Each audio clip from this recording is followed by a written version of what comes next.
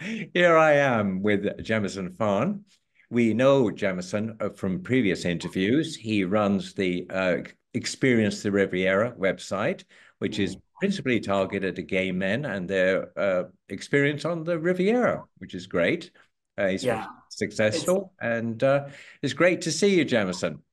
It's good to see you too. It's been a while. I called you Jamison. I said Jameson, Jameson. I must remember that. I, I have a tendency to say Jamison. I have no idea why. But there you go. I do apologize. That's okay. well, it seems that apart from the his busy life uh, with villa rentals and taking care of clients, he's found time to write a book, a second book, and this one is called Bathhouse Babylon. Mm-hmm. New yes. release. Oh, full release, full release. That's it. Yeah, full release. Yeah, and it's available on Amazon, so we'll cover that base, and we'll let, give you links later. But uh, first off, let's find out what is a bathhouse anyway. Well, um, they've been around for hundreds of years. Of course, they've changed over time, like since the Roman days. Oh. So, and they changed even every five to 10 years. The kind of demographic, uh, the technology helps enhance these places. They're basically venues for gay men or bisexual men, or a lot of straight men go to, to uh, visit and generally have sex or not. It's up to them. So these places are usually packed. They're a very social gathering. They're thought of as a place for men to get away from work or life in general, kind of like Vegas type thing. You know, what you do there, nobody's going to know, you know, that kind of thing. So, or if they decide to tell people or people see whatever, who knows. So they're usually quite large venues large venues. Why? Why is that? Um, because at the time, well, it depends on when they were built or the business had started, but they're used as like uh, places for men to cruise. Um, you pay a fee to go inside. It depends on what time of day or what you're doing, and it depends on what city you're in around the world and stuff like that. Um, in North America, you can rent a locker or a room. So the locker would look like a in a fitness center that kind of thing. And everybody walks around with just a towel on around their waist or they're nude. So you can't really tell people's financial backgrounds or, you know, nationality even gets blurred because there will be so many men in the place. The lights are very dimly lit. There's nightclub music generally playing. It's a very sexually charged atmosphere, but there's never a pressure to do anything if you don't want to. A lot of men even just go to just get away. They'll even watch some movie in a TV lounge or whatever, but there's also all kinds of porn that is played and porn stars will even show up and do shows, that kind of thing. So really? Yeah, I used to organize that kind of thing. is it is it is it, I mean, are these clubs packed all the time? Oh well, I'll call them clubs. So bathhouses are they? people call them clubs too. Um, they it, like weekends are generally busy. It, again, it depends on what city you're in, and if the bathhouse has a good reputation, yeah, weekends are the busy time. Or if they have a special on during the week. Like we used to have a lucky at lunch special, which used to get all the businessmen from the um, business district to come down and get off on their lunch hour. And we used to have a tagline that used to say something like, um, lucky at lunch if the girls at the office only knew, that kind of thing. So you just kind of make a bit of fun of it, make it lighthearted for everyone. But yeah, like um, weekends would be packed. There would be waiting lists to even get in or to get a rental room if you wanted. So there was just a lot to manage. It's an actual legal business. You pay taxes and everything. The tax man actually usually watches you a lot closer because you're making, there's so much cash involved. And so you're audited all the time and you have to make sure everything is to the cent. So it's just. So I'm assuming that the cash is to avoid people revealing their identities is this would yeah be- they'll do that too there's some people i think you know as the years have gone on like when i first started in the business in the early 90s or no late 90s um, it was still a bit of a taboo you just spoke about it between your friends and even your friends might divulge not divulge if they've been but by the time i ended uh, working in the industry for just over 10 years, it was like no longer a secret. People were like, oh, yeah, I'm going to the baths on the weekend or whatever. It's it's an alternative to going to the nightclubs and to the bars because usually there isn't liquor licenses in these places. So people will show up after the nightclubs. It's actually safe for safer to um, meet somebody in those places because if something was to happen, uh, you know, dangerous or a theft or something, there is staff, you know, available to help you instead of bringing somebody home and they could rob you at home or who knows what. So, well, you've only got a towel, so how can they rob you? Well, they will believe me. There's if they can get into a person's room, and people sometimes don't lock their stuff up in a locker. Oh, we had safe boxes where they could lock stuff, their wallets and stuff behind the front counter. But some people just were like, "No, I'm fine." So, but how do you? I mean, this is a obviously uh, now it, it's much more liberal, and people have a more open view of uh, society yeah. about gay activity. Uh, but how do you control the criminal activity in and around, especially uh, handling cash? That's always an attraction for our, you know, many well, classes. We used to have, we had three safes. Er, in the first place I worked in, like, because I've managed three. So the first place I worked in, we had a safe in a manager's office, a drop safe for the cashiers, and then a safe in the floor. And we would do bank deposits, you know, the next morning right away, like 8 a.m. or not whenever the bank's opened. Um, and everything is recorded. Um, and even by the time I ended, there's video cameras at the entrance and stuff that used to people used to be so worried about that oh somebody's going to recognize me but it wasn't beneficial for a club to release that kind of footage because then they would not get any business it was more for the safety of the patrons and also uh, the staff and it kept everybody kind of in line too because you could always review something back on a calendar or on a camera if there was an hr incident or something. But yeah cash is always deposited right away. Um, there would be myself and say somebody else that would come with me to the bank or stuff like that and the banks knew us very well too so yeah. So there's no drinking involved because uh, the places aren't licensed yeah, it like in it depends because every country is different and every place is different. So if they can get a liquor license, they'll get one. But that also adds um, more stress on your work environment because then you're monitoring people who are drinking within your establishment and having open sex either in a room or right in front of you sometimes. So it's just more to handle. And it's that's its own business in itself. So to me, it was better without having liquor in there. If people would be drinking beforehand or whatever, this way we, if we thought they had too much, we could just say, come back later, come back tomorrow. Because we don't want them to fall downstairs or slip in the shower or something like that in a bathhouse. So even though we're insured like crazy, but you just don't want any incidents happening. You want it a safe place. And the last bathhouse I managed, our capacity was 274 people. Wow. That's yeah. Good. yeah, when it gets busy.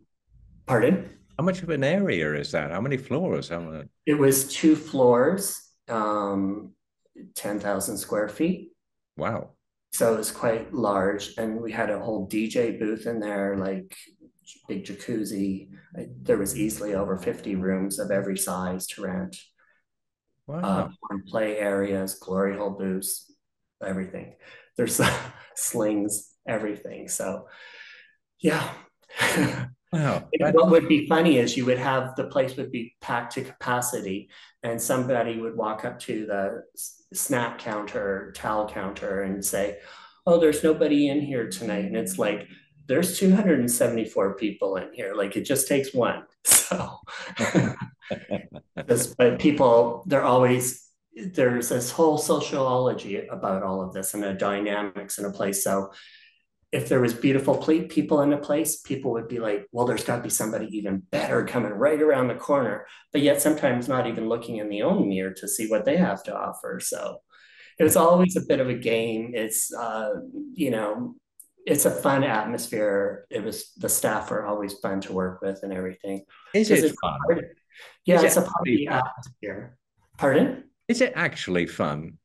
Do people, you know, are, are I always think of um, uh, these sort of things as being intense in some way and people being grim, but obviously yeah, that's not the case. There, there is that element to it too. It depends right. if there's some major leather fetish night thing going on, but Oh. You see, when you work in those places, you see every walk of life and like everybody doing whatever, people trying new things or scared of new things. There's been people that have come in for their first time mm. and just be in shock and turn around and run out practically. But then there's people that walk in and think it's the best place on earth, that they've hit some kind of gay heaven. So um, there was lots, and you always had to watch because um, I believe that sexual addiction is a thing. And there was people that would show up, say they got lucky for their first time at six o'clock on a Monday night, they would start showing up, you know, at that same time all the time. And if they had a bad night, they start to blame the club or whatever. It's like, no, you're maybe here too much. And you can go through a lot of people if that's your choice. But we also promoted safe sex all the time we gave away, we had bowls of free condoms. People would have to pay for their lubricant and stuff like that, but there was safe sex information on hand everywhere. We would have a health nurse come in once or twice a week and they could speak to them quietly about whatever. We would even give out flu shots, that kind of thing, if we could. And just even general health information, mental health too. How do you control the drug situation? Because that must be an issue. Yeah, you um while the city I was living in was very known where drugs were just a normal part of very normalized. So you're aware that people are going to try to sneak in booze or drugs and it's just part of even though we had signs saying that you can be barred and we would bar people from those places from the place if they were doing that kind of thing but if they were stuck to themselves and they weren't trying to sell it or anything and we would right away know you get to know what somebody's going to be up to and if they might be trouble so we would just put word out amongst ourselves and monitor them. So if anything went wrong we would just know what to do. I was very lucky that there was very few incidences where somebody was overdosing on ghb or something. So we had to have the ambulance come in and stuff. Um, but they were very professional and they'd come in and take care of it. And of course, that person would want to come back in the next day if they were okay. It's like, no, you're barred for quite a while. You need to sort out some stuff. So. So I, am taking it now that the authorities don't sort of uh, there was a tendency to always sideline uh, activities that go wrong in gay areas and stuff like that. I'm assuming now the authorities are more or less up to date and treat everybody respectfully. Yeah, they they are very up to date. They're very. I've always found the authorities to be very, you know, on our side and very supportive and stuff like that. So they know that stuff is going to go on in a nightclub or whatever. And a bathhouse is like a nightclub in a sense. You can even dance in them. There's, you know, um, it's just it, people are mostly nude and having sex, outwardly having sex. So, um, yeah. In a, in a, sense, it's a very healthy environment because people aren't inhibited. Uh, often, when people are inhibited, it, it it's not good for them. So I, you I see, yeah, is. you see people generally relax, and once they come in and they've changed into just a talent, or you know, walking around, looking around, um, and again, you don't have to do anything. Our fitness, uh, like our gym part of the last club I worked in, we spent a hundred thousand year or dollars just on gym equipment. It was like state of the art. So people would come in there because it was almost like a cheaper gym membership, and they could go have sex or sit in the steam room after. So where sex would happen too. So it's just it's a gathering place. It was a community place there's word now, like since COVID, that a lot of these places have shut down or are struggling. But I've seen a lot in, say, the UK where they've, you know, they've changed things up and they've made things because there's just so many options now for the gay community. Whereas before apps and the internet, everybody would just go to a gay bar or to a bathhouse or that kind of thing. So, yeah. But so, now apps let's talk about the main subject, of course, which is the book, because this is number two in the series. and uh, and uh, why the book? Well, I initially wrote the first one when everybody was in lockdown here in France. I wrote it near the end of lockdown because I was bored at home and I was just I had kept diaries of all of my time. So I thought, and people had always told me, you know, at social events or whatever, you should write a book about, you know. So I just put some stories together and I wrote the book. But I feel I did it kind of very quickly and I promoted it literally when lockdown, when people, things were opening up again. It got a lot of media attention globally for a solid year, which I was happy about. But there was also something behind me that said, I know I could do better. And so I listened to feedback from my friends and from even strangers that bought the book. And they were all like, oh, we want more juicy stories. And could you give us more scandal? Or a lot of people were like, how did you get into that business? And how did you go from being in that business to living in the south of France? So I've included a lot more sex stories and a lot more scandal and basically answered their questions in roundabout ways. There's a lot more chapters now, but I wanted to, wanted it to be a final full release. So, um, yeah, and already it's only been out since June, and already, yeah, interviews are lined up again. So I don't know. It's an interesting subject for the gay community, I guess. So, and I'm happy to. I think it's important that these stories are told for the younger generation to see because there was still a lot of illegal stuff, like even just hard to get a job being gay when I first started in this biz, that business. So I want them to know that there are stepping stones and what struggles people had to do to just even make a living type of thing. Have you, uh, I'm going to put you on the spot. Have you got a little snippet of a story you could relate to just quickly that would uh, titillate the palate of somebody who wanted to read the book? Uh, there's lots. I mentioned like there's iconic New Year's Eve stories where uh, baby was born at midnight on New Year's Eve, like a, a plastic doll. Basically, somebody shot it up. Beep. So, but oh, there's no, some, really, yeah. Uh, it was a surprise for everyone. It just said uh, "baby boy born at New Year's" type of thing. So anyway, it's but it's in the book.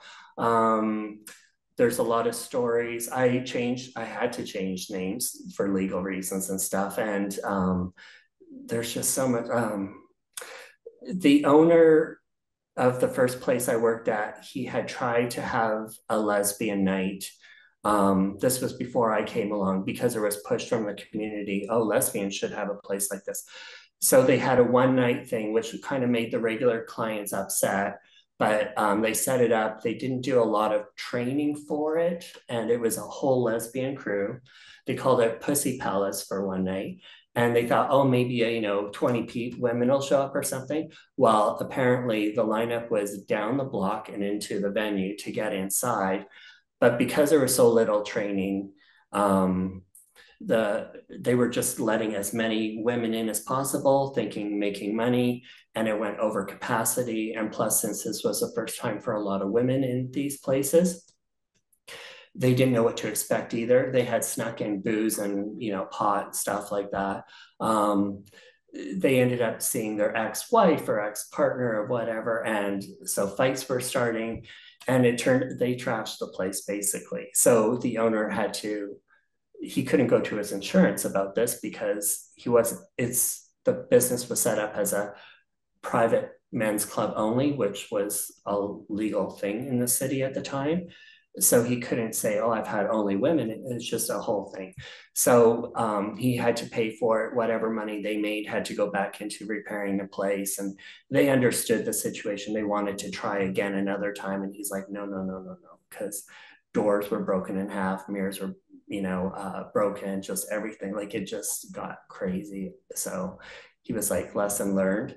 So I think things have changed now because even when I left um, we would have uh, kind of meetings for the LGBT community because we had a kind of open meeting room at part of the bathhouse where the mental health nurse could, or the health nurse in general, just would um, talk to people from the transgender community, lesbian and gay, if they wanted to all sit in and just have questions, general questions answered, or see how they can strengthen the community. So things have had come a long way, and that was I had only been doing it for just over 10 years. So, and just in that span of time. So it was very good. That's excellent. Uh, sort of going on. So down here in the Riviera, can somebody uh, sample the bathhouse experience? Yes, there's um, one only one bathhouse in the region. It's like a, a technical bathhouse. It's called Le Bain Douche in Nice. Um, it's near uh, like it's in the center of Nice. It's very easy to find. It's a these buildings are usually nondescript with not no signage or whatever. But if you go to even my blog, Gay French Riviera, I've written an article about it years ago. So the information is all there, or you can just, you know, Google it online.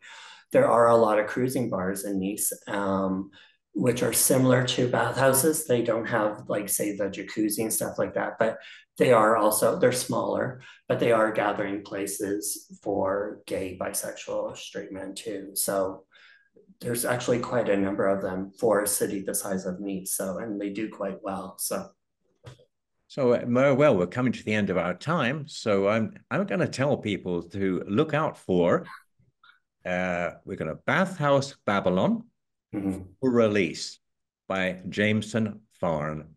Uh, do look it up because I think it'll be an excellent. Well, I've read a few pages, and I haven't read it all because I'm too innocent, and I just I started the book off with a bang. So um, yeah, it's like it's um, I call it the second coming, and it's oh, like, so it's like um, but, but, yeah, it's found. you can find it on Amazon right now, and it's uh, Jameson has a lovely writing style. I mean, a, well, you can tell, a very engaging individual. So I encourage anybody listening to this to go along and uh, read this book. It, I think you'll find entertaining.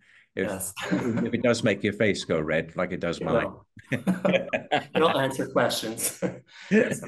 anyway, I just I now I have to say, uh, well, thank you so much, uh, Jameson. I really, really enjoyed our conversations. I always do, uh, riveting, and we could go on for hours, but I'm not allowed to. well, thank you so much. I really appreciate it. Yeah. So I hope to see you very soon, Jameson. Yes, you too. You too. Thank you. Thank you. So thank you. huge smiles as usual while I find the off button.